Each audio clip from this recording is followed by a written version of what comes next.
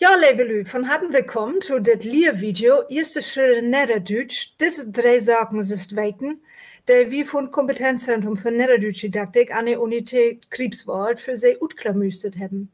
Wie das sind, würde Aaron, ich habe das Leid von dem Kompetenzzentrum für Niederdeutsch Didaktik. Und ich bin Ulrike Stern, ich bin wissenschaftliche Mitarbeiterin am Kompetenzzentrum. Ja, herzlich willkommen zu unserem kleinen Lehrvideo Niederdeutsch lernen, erste Schritte. Diese drei Sachen solltest du wissen, äh, dass wir vom Kompetenzzentrum zusammengestellt haben für Sie und euch. Und ja, das Kompetenzzentrum, was machen die da eigentlich?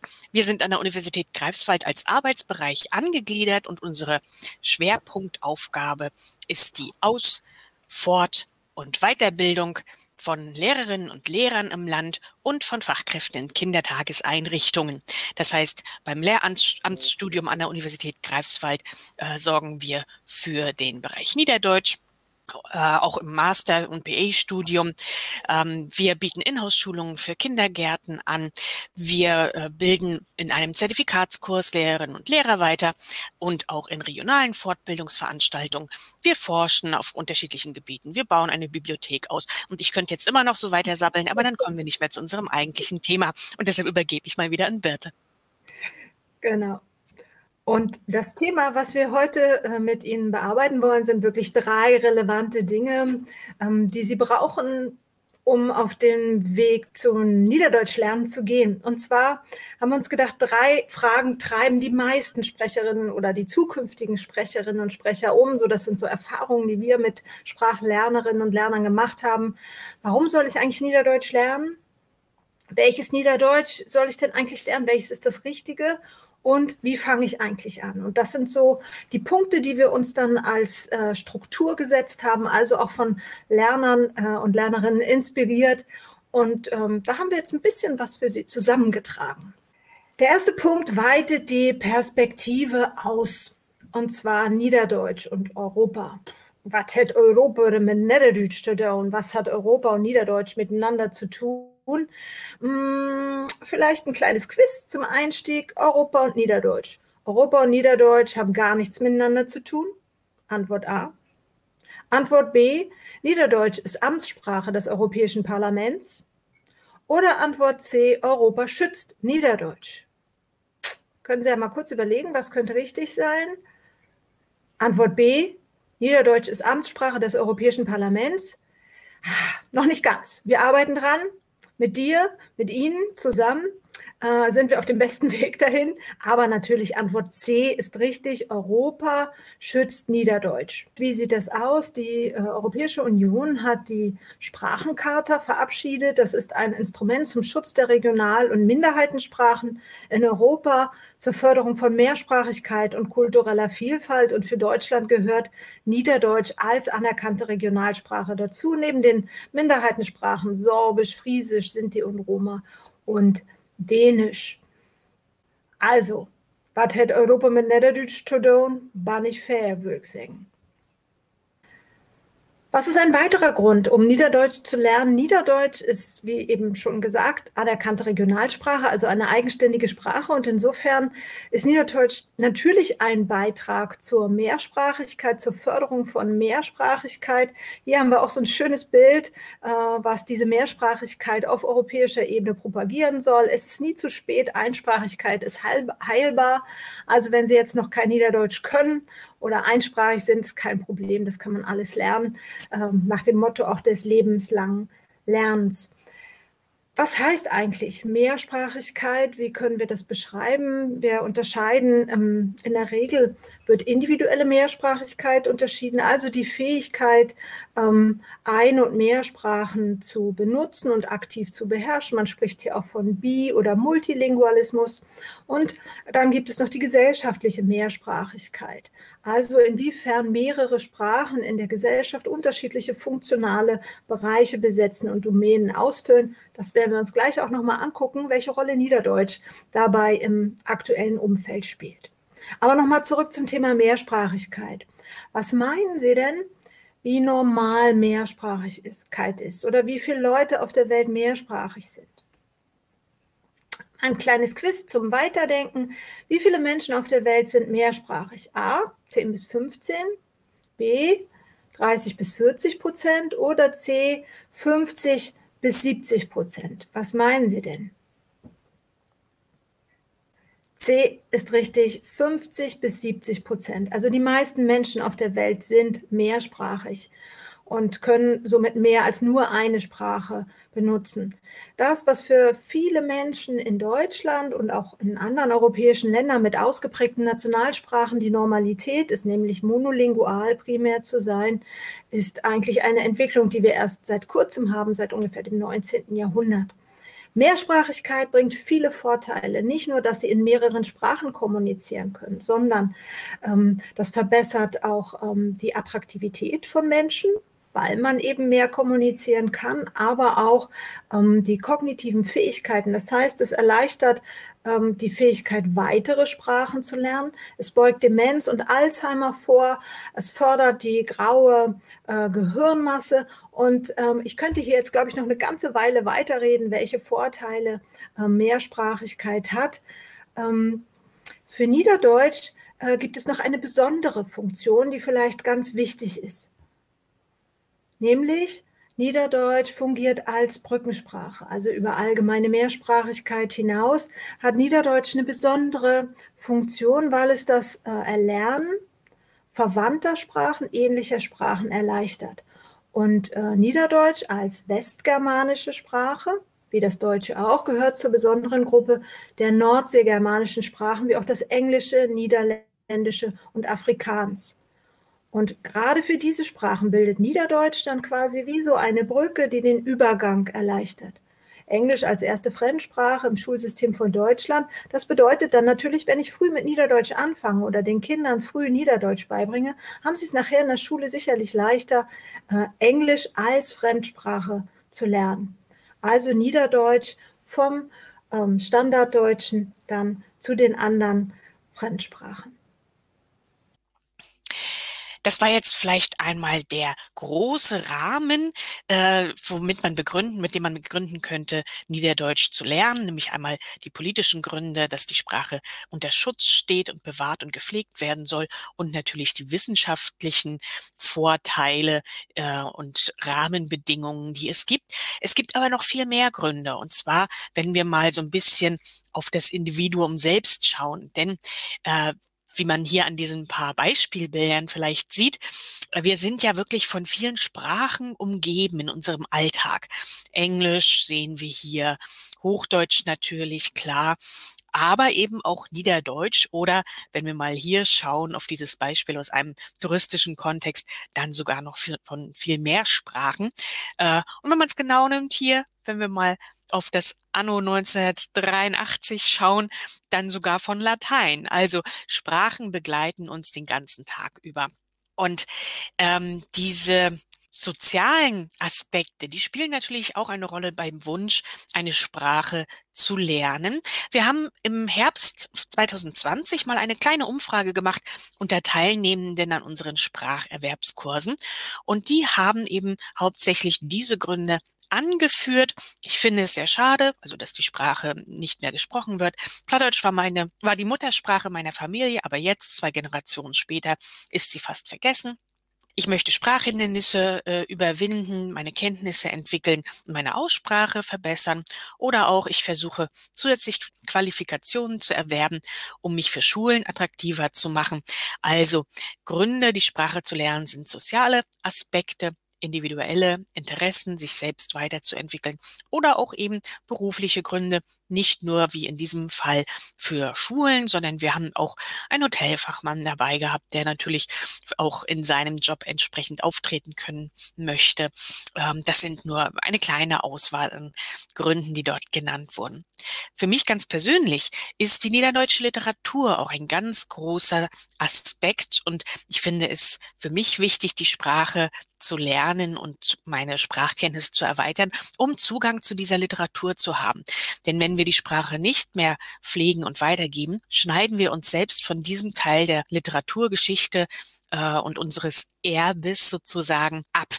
Und wir haben hier noch ein kleines Quiz vorbereitet. Vielleicht kennen Sie den niederdeutschen Autor Fritz Reuter. Und jetzt überlegen Sie doch einfach mal, schätzen Sie einfach mal, was glauben Sie denn, in welche Sprachen wurde Fritz Reuter übersetzt? Einzelne Werke. Sie können an dieser Stelle das Video gerne anhalten, wenn Sie noch ein bisschen länger überlegen oder vielleicht auch zusammen diskutieren wollen. Ich löse jetzt aber schon mal auf. Und zwar sind es alle diese Sprachen.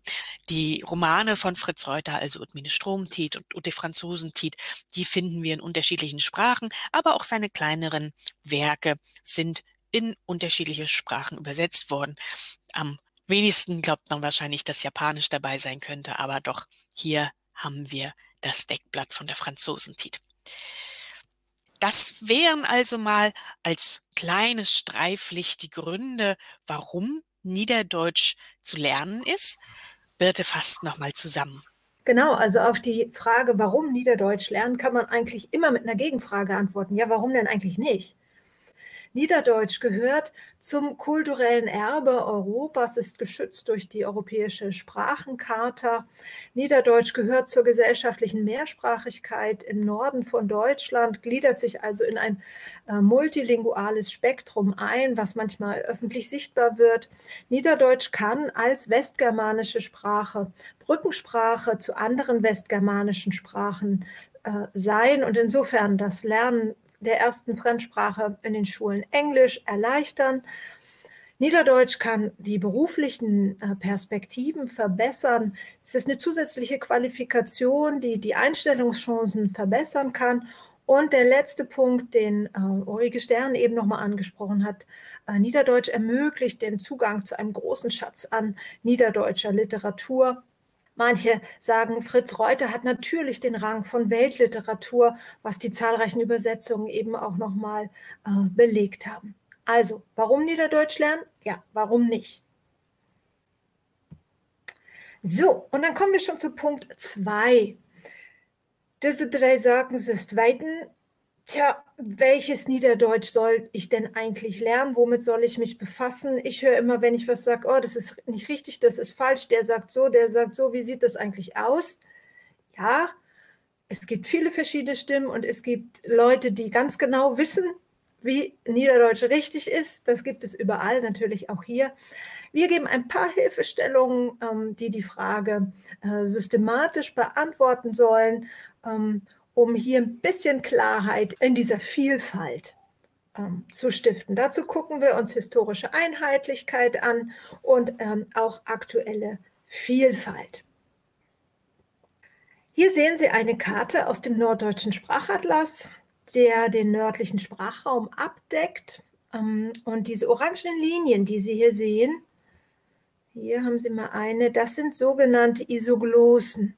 Das heißt Linien, die ähm, Gebiete, wo ein Phänomen in gleicher Art und Weise realisiert wird, von anderen Gebieten abgrenzen, wo es anders realisiert wird. Und wenn Sie sich das angucken, dann äh, sehen Sie schon, dass der niederdeutsche Sprachraum recht bunt differenziert ist.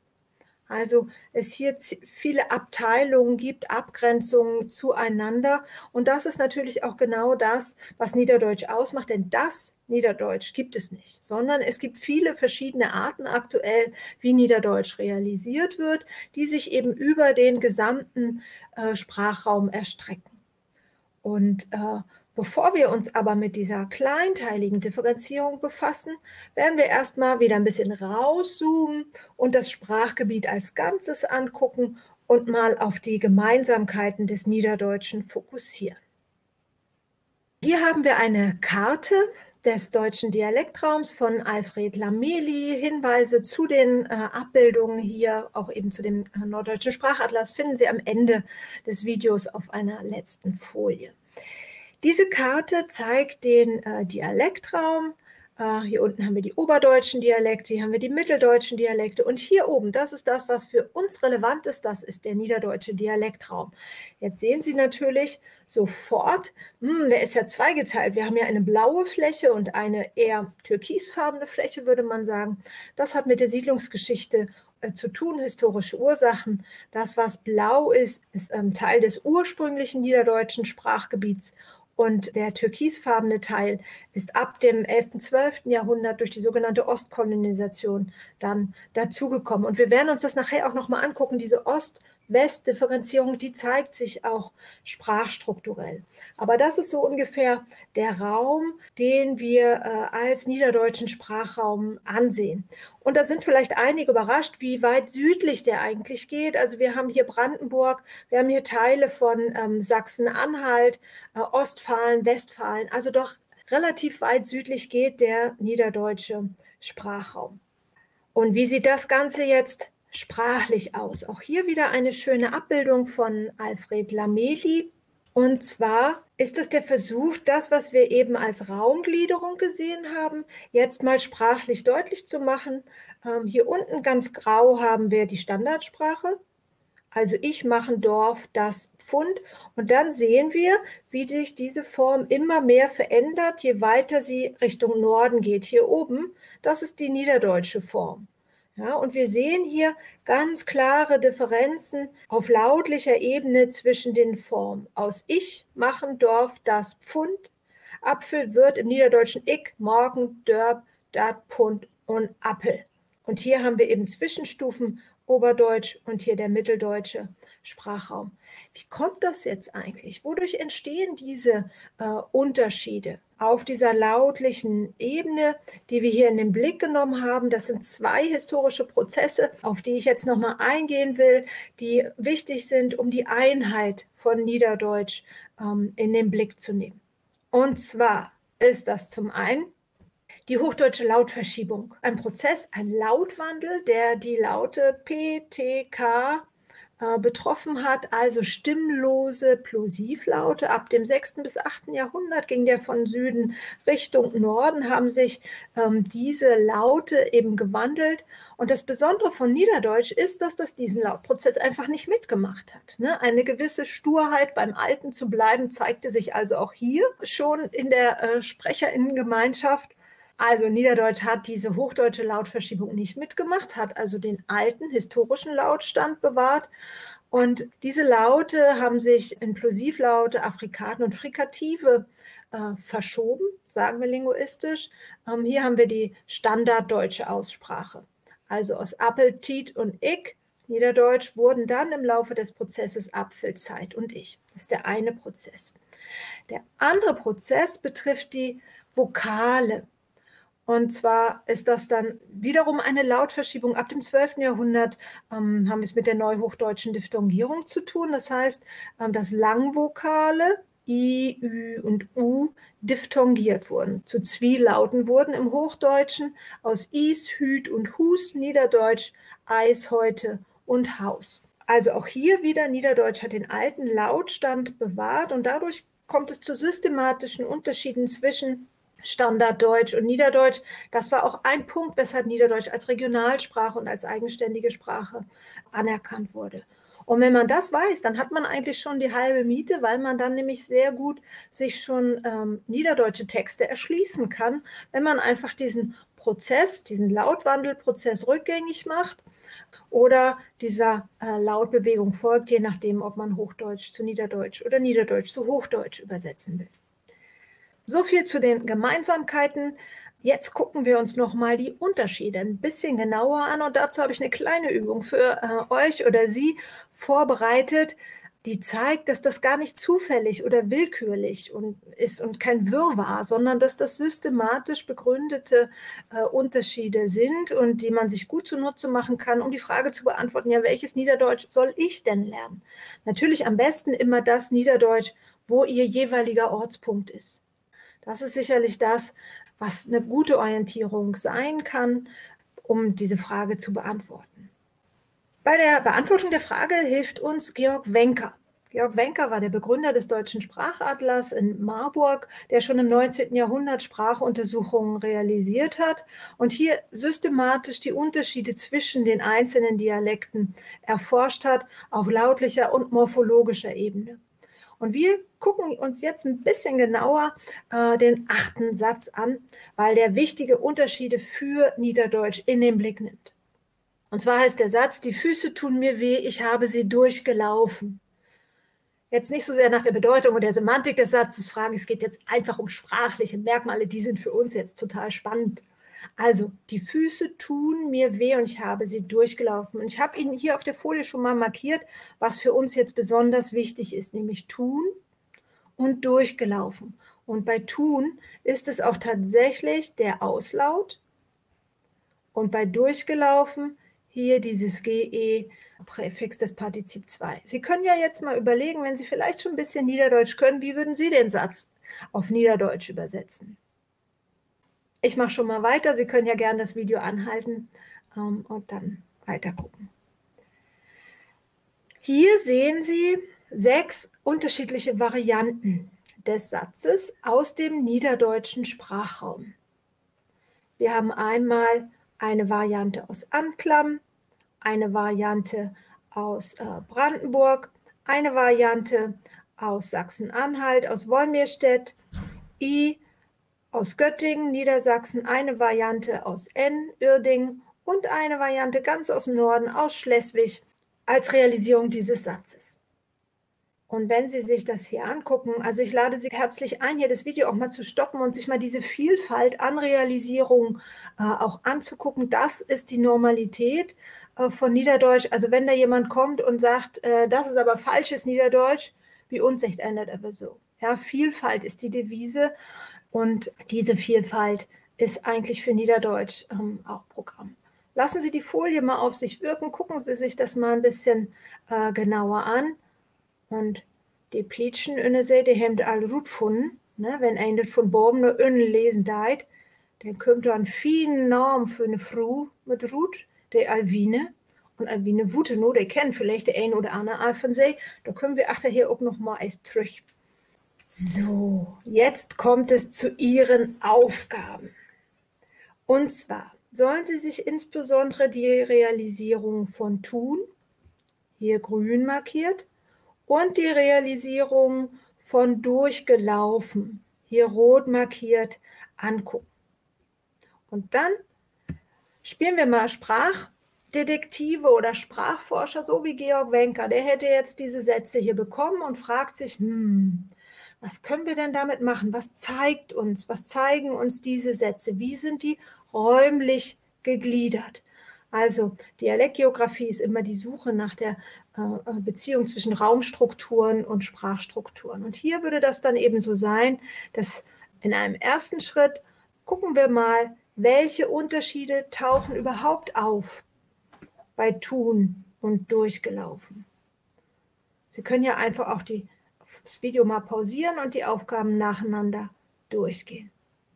Welche Unterschiede tauchen auf? Klar, haben Sie sofort gefunden oder habt ihr sofort gefunden. Bei tun, das endet auf D oder T und es endet auf N im Niederdeutschen. Und bei durchgelaufen sehen wir auch durchlopen, durchlopen, durchgelopen, dorelaben, dorgelopen, dörlopen. Also mal ist das GE da, mal ist es nicht da. Hm, okay, gut. Wie sieht das jetzt aus? Jetzt brauchen wir die räumliche Perspektive und jetzt gucken wir uns eben an, was variiert in Ost-West, und was variiert in Nord-Süd-Richtung? Erstmal, welche Form variiert in Nord-Süd-Richtung? Don versus Dot, durchloben, durchloben oder durchgeloben? Na, kleines Quiz. B ist richtig. Und die dritte Frage, welche Form variiert in Ost-West-Richtung? Also altes Sprachgebiet, neues Sprachgebiet. Don, dot, durchgeloben, durchgeloben. Hier ist Antwort A richtig. Ja, so viel blieb ja auch nicht mehr übrig. Wir sehen also, dass wir, dass der niederdeutsche Sprachraum mehrteilig gegliedert ist und dass wir Unterschiede sowohl in Ost-West als auch Nord-Süd-Richtung haben, die zu diesem differenzierten Kartenbild beitragen. Und das können wir uns auch nochmal ähm, jetzt die Phänomene genauer angucken. Diese Unterschiedlichkeit im Sprachgebiet wird auch Binnendifferenzierung des Niederdeutschen genannt. Und bei Tun stehen also die Formen auf T und auf N gegenüber T, westniederdeutscher Sprachraum, das ist die ursprüngliche, die alte Form, und N, ostniederdeutscher Sprachraum, die hier gegenüberstehen. Das ist jetzt aber kein lautliches Merkmal, obwohl man das meinen könnte, sondern es ist ein morphologisches Kriterium, also ein Merkmal der Wortform, und zwar wie der Einheitsplural gebildet wird, also die erste bis dritte Person Plural, Präsensindikativ aktiv. Und die gliedert den Sprachraum in Ost und West. Und dann hatten wir ja noch ein Phänomen bei durchgelaufen. Hier sehen wir ganz klar eine Nord-Süd-Gliederung. Es handelt sich auch um ein morphologisches Kriterium, nämlich inwiefern das Präfix beim Partizip 2 realisiert wird.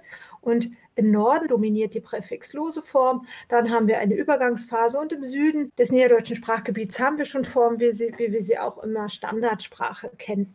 Also wir sehen hier, dass der Sprachraum mehrteilig gegliedert ist und wir eine Vielfalt an niederdeutschen Formen haben. Und selbst wenn wir in ein Sprachgebiet noch weiter hineinzoomen, wie wir es hier machen äh, mit einer Karte aus Hermann Winter, die mal äh, die den Mecklenburg-Vorpommerschen Sprachraum analysiert und beschrieben hat, dann sehen wir, welche Varianten es hier für die Kartoffel gibt. Also für ein Lexem, welche Vielfalt schon ähm, hier zu finden ist. Also Vielfalt ist auf jeden Fall Programm für Niederdeutsch und welches Niederdeutsch? Sie können ja einfach mal das Video äh, anhalten und Ihren eigenen Ortspunkt suchen. Ist der eher östlich? Ist der eher westlich? Ist der eher nördlich? Ist der eher südlich? Und wie würden Sie hier wahrscheinlich dann diesen achten Wenkersatz realisieren? Diese Isoglosen, die können Ihnen auch noch mal helfen. Das hier ist zum Beispiel die Linie des Einheitsplurals auf en. Hier haben wir don und dort haben wir dot also der Einheitsplural, auf T. Ja, jetzt könnte man natürlich bang werden und sagen, um Gott, oh Gott, so viele Unterschiede, wie soll ich das denn machen? Wir sehen das nicht als Abschreckung, sondern wir sagen ganz klar, Vielfalt ist ein Schatz, denn ich schnack so und du snackst so, solieren wir immer was dort Also man kann immer noch wieder neue Lexeme lernen, wenn man mal in ein anderes niederdeutsches Gebiet kommt. Und man kann immer noch neue Redewendungen lernen oder eben auch rein grammatikalisch noch wieder neue Formen kennenlernen. Deshalb dieser kleine, ja, augenzwinkernd gemeinte Merksatz. Und vielleicht nochmal zur Erläuterung, dass wir hier erst Schnack und dann Snack schreiben. Das ist kein Tippfehler, sondern soll uns daran erinnern, dass es unterschiedliche Möglichkeiten gibt, zum Beispiel hier diese SCHN-Verbindung zu realisieren, dass es aber auch unterschiedliche Möglichkeiten gibt, dieses Tau zu realisieren. Da gibt es auch Regionen, wo Tau gesagt wird. Auch hier bei der Konjugation des Verbs, das haben wir gerade schon gehört, kann es Unterschiede geben. Also dies als kleiner Merksatz vielleicht. Ja, aber wie ist es denn nun, wenn man anfangen will? Wie soll man denn jetzt versuchen, dort durchzusehen. Das Beste ist natürlich immer, man erlebt eine Sprache, man beobachtet Leute und belauscht Leute, die diese Sprache benutzen. Aber das ist im Fall von Niederdeutsch ja gar nicht mehr so einfach. Äh, bei uns im Land in Mecklenburg-Vorpommern ist es so, dass eine Umfrage 2016 vom Institut für deutsche Sprache in Mannheim und vom Institut für Niederdeutsche Sprache in Bremen ergeben hat, dass nur 15 Prozent der Befragten sich selbst einschätzen mit einer guten oder sehr guten Sprachkenntnis, also dass sie sehr gut sprechen könnten. Das bedeutet, zumindest hier für uns im Land, dass die Sprache wie eine Fremdsprache vermittelt wird. Also an den Schulen kann man nicht mehr davon ausgehen, dass die Schülerinnen und Schüler mit Fortkenntnissen aus der Familie kommen, sondern die Sprache ist ihnen fremd und muss ihnen mit den Mitteln einer modernen Fremdsprache vermittelt werden. Was bedeutet Fremdsprachenerwerb? Was bedeutet es, eine Sprache zu lernen, die einem fremd ist? Man möchte handlungsfähig in dieser Sprache werden. Man möchte interagieren können. Und dazu sind diese vier Faktoren ganz wichtig. Also Motivation. Wir haben vorhin gehört, was Gründe zum Lernen sein können, was also uns motivieren kann, diese Sprache zu lernen, aber auch Emotionen. Das heißt also, wenn zum Beispiel die Großeltern Niederdeutsch gesprochen haben und man einfach diese guten, positiven Erinnerungen mit der Sprache verbindet, dann ist es auch auf der emotionalen Ebene natürlich etwas, was wir mit dieser Sprache verbinden. Und klar, Interaktion und Kontinuität. Was ist jetzt aber, wenn man diese Interaktion einfach nicht leisten kann und vielleicht auch die Kontinuität nicht, weil man eben nicht regelmäßig Kontakt zu Niederdeutschsprechern hat? Wir haben mal versucht, so eine Art ja Schritt für Schritt äh, hier darzustellen. Und zwar gibt es für Fremdsprachen ein äh, Instrument, das ist der Europäische Referenzrahmen für Sprachen. Und in dem sind Kompetenzen und Niveaustufen festgelegt worden. Das bedeutet, ich kann ganz genau schauen, was kann ich in der Sprache und demzufolge habe ich eine bestimmte Niveaustufe erreicht. Und die Progression dieses Rahmens, die dieser Referenzrahmen vorgibt, die geht von rezeptiven zu produktiven Kompetenzen. Und genau so haben wir hier mal unsere kleine, unseren kleinen Verlauf angelegt. Das heißt, erstmal rezipieren, lesen und hören, dann produzieren, sprechen und schreiben dass das mit dem Lesen gar nicht so schwer ist, das werden wir jetzt direkt mal sehen. Ich habe hier eine kleine bunt gemischte äh, Übersicht an Büchern mal zusammengestellt. Das ist nur eine kleine Auswahl der Bücher, die auf dem Markt sind. Viele für Kinder, aber auch für Erwachsene gut zu lesen. Viel liebevoll gestaltet, zum Teil Übersetzungen, zum Teil wirklich originär Niederdeutsch. Und da kann man sehr gut mit anfangen, gerade wenn es Geschichten sind, die man vielleicht schon kennt, wie Winnie Pooh oder wenn es kurze, kleine Passagen sind, wie vielleicht hier bei Carter Liam. Wir haben mal ein Beispiel aus dem Alltag. Das ist ein, ja, ein Schild, was eine Öffnungszeit angibt, gefunden 2018 bei, bei einem kleinen Laden in Lodin auf Usedom. Und wenn Sie den jetzt einmal lesen und versuchen zu übersetzen, werden Sie feststellen, das ist ja gar nicht schwer gerne auch das Video anhalten. Ich gehe aber schon weiter und zeige nochmal ein paar ja, Verstehenshilfen, beziehungsweise wir wiederholen nochmal die Gründe, warum denn das so leicht ist. Das, der erste Punkt ist, wir haben eine doch deutliche Nähe zum Hochdeutschen, also zu unserer Standardsprache. Zum Beispiel ist es dort so gewesen, dass sie das hochdeutsche Wort Mittwoch statt dem niederdeutschen Mittewäken verwenden. Also da existieren zum Teil auch schon Begrifflichkeiten nebeneinander. Aber auch hier das uns, das Personalpronomen oder das Verb ist, das erinnert uns doch deutlich ans Hochdeutsche und auch ans Englische nebenbei gesagt. Äh, und insofern können wir uns diese Wörter auch wie wenn und nicht und un äh, sehr, sehr schnell aus dem Bauch heraus sozusagen erschließen und übersetzen. Und wenn wir dann noch genauer schauen wollen, gucken wir auf die Laute, die das Niederdeutsche sich bewahrt hat und eben nicht verändert hat, so wie das Hochdeutsche, nämlich zum Beispiel das P bei up, was nicht zu F geworden ist, auf, oder auch das T, was nicht zu Z geworden ist, oder ganz deutlich ist es hier bei dat, das T ist nicht zum S geworden, also dat, Niederdeutsch heißt das Hochdeutsch. Und genauso könnten wir mit der neuhochdeutschen Diphthongierung weitermachen und uns auch mal die Vokale anschauen. Also zum Beispiel beim Bi, das lange, alte I, was das Niederdeutsche hat, ist im Hochdeutschen ein Ei. Also können wir sofort übersetzen bei. Bei uns ist auf, wenn auf ist, zu ist, wenn nicht auf ist und das ist Mittwoch. Und ganz wichtig immer ist auch den Kontext mit zu beachten. Also hier habe ich es Ihnen ja schon verraten. Es ist ein Schild, was Öffnungszeiten anzeigt. Aber auch wenn wir andere Texte lesen oder andere Schilder lesen, sobald wir wissen, worauf es sich bezieht, in welchem Kontext es steht, können wir es gleich nochmal leichter übersetzen ein paar und gar nicht so wenig der Bücher, die ich Ihnen gerade auf der vorhergehenden Folie gezeigt habe, sind inzwischen auch schon mit CDs und Audiodateien ausgestattet. Und das bringt uns zu dem nächsten, zu der nächsten Kompetenz, die man äh, in einer Sprache erlangen will, nämlich das Hören und das Verstehen vom gesprochenen Wort. Und um auch eine gewisse Kontinuität zu gewährleisten in der Beschäftigung mit dieser Sprache, wenn ich sie lernen möchte, bietet sich zum Beispiel das Radio an. Die Liste, die ich hier mal angefangen habe, lässt sich auch noch um einiges verlängern. Das ist nur eine kleine Auswahl, die äh, der NDR oder auch Radio Bremen zum Beispiel uns anbieten. Und dadurch, dass vieles auch über die Mediathek und als, als Podcasts jederzeit wieder abrufbar ist, haben wir da natürlich die Möglichkeit, selbst wenn wir nicht aktuell Radio hören können, da wieder reinzuhören. Ja, Wie ist es denn nun aber, wenn ich für mich Bücher gelesen habe und verstehe sie auch ganz gut und ich habe mir CDs angehört oder höre regelmäßig Plattdeutsch an Sündach oder die Klönkist oder eben auch die Nachrichten und will jetzt anfangen zu sprechen. Das ist immer noch mal ein Schritt weiter. Da muss man sich manchmal schon überwinden. Und das ist natürlich besonders schwer, wenn man niemanden im Umfeld hat, mit dem man sprechen kann. Manchmal weiß man es ja auch gar nicht von seinen Nachbarn und Freunden.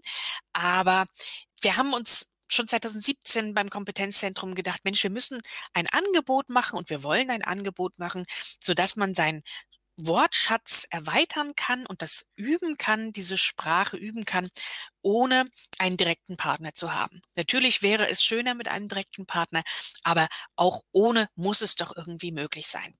Und wir haben deshalb 2017 unser Projekt Alvine entwickelt. Alvine ist hier das Akronym für Anki-basierte Lernplattform zur Wortschatzvermittlung im Niederdeutsch-Erwerb. Da haben wir wieder unsere Alvine Wutenow, an die wir damit erinnern, die Autorin aus der Nähe von Greifswald.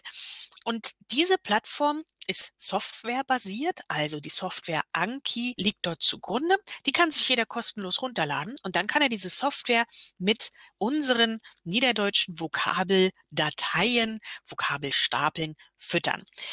Beide Plattformen, sowohl Alvine als auch Quizlet, äh, wo man browserbasiert Vokabeln lernen kann, arbeiten nach dem Karteikartenprinzip. Man sieht es vielleicht hier nochmal oder zur Erinnerung, das kennen Sie sicherlich auch.